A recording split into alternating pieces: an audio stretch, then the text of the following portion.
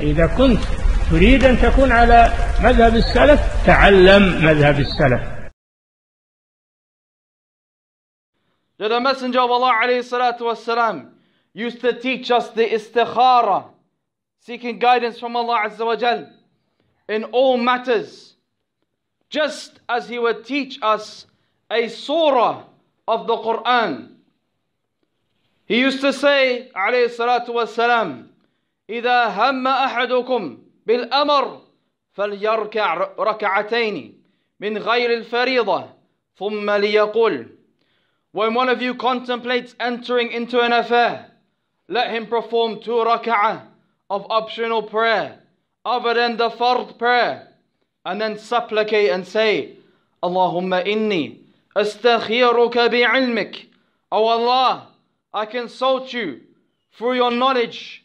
وأستقدرك بقدر بقدرتك and I seek capability through your strength وأسألك من فضلك العظيم and I ask you of your great bounty فإنك تقدر ولا أقدر for you are capable whereas I am not وتعلم ولا أعلم وأنت علام الغيوب and you know and I do not and you are the knower of all hidden things and affairs اللهم إن كنت تعلم أن هذا الأمر خير لي في ديني ومعاشي وعاقبة أمري أو قال عاجل أمري وآجله فاقدره لي Oh Allah, if you know that this matter is good for me in relation to my deen, my livelihood, and the consequences of my affairs,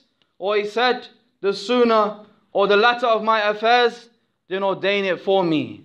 ويسره لي make it easy for me ثم بارك لي فيه and bless it for me وإن كنت تعلم أن هذا الأمر شر لي في ديني ومعاشي وعاقبة أمري أو قال في عاجل أمري وآجلي فاصرفه عني But if you know that this affair is bad for my deen and is bad for my livelihood or the consequences of my affairs, or he said the sooner or the later of my affairs, then turn it away from me.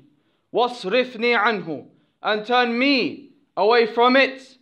وَاقْدُرْ لِلْخَيْرِ حَيْثُ كَانْ ثُمَّ أَرْضِنِي بِهِ And grant me power to do good wherever it may be and cause me to be content and pleased with it. قال ويسمي حاجته and then he specifies his needs. So Jabir radiallahu ta'ala anhu said that the Messenger of Allah sallallahu alayhi wasallam would teach us this dua just like he would teach us a surah from the Quran. Allahu Akbar. Look at the importance given to this dua by the Messenger of Allah alayhi salatu wasalam. That he would spend time teaching it to the companions. Just like he would teach them a surah. And how is a surah taught? It is memorized.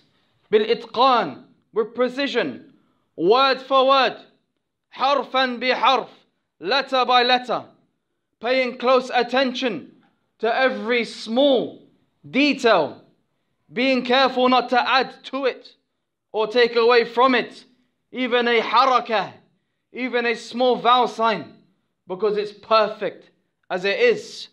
Being careful not to change the meaning, because these types of supplications that have been authentically reported from the Messenger of Allah والسلام, that they are to be memorized just as they are, because every single word has significance.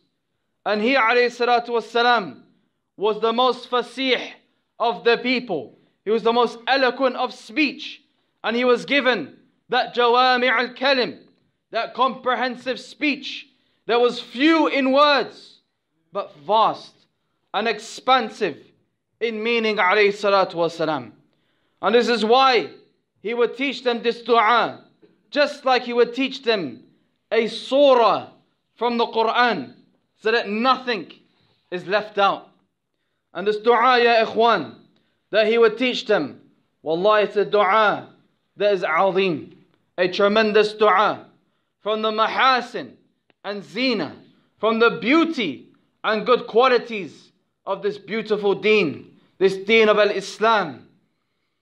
And if we were to look at a time before the messengership of our Prophet والسلام, to the people of Jahiliyyah, that if they wanted to seek guidance in their affair, what would they do?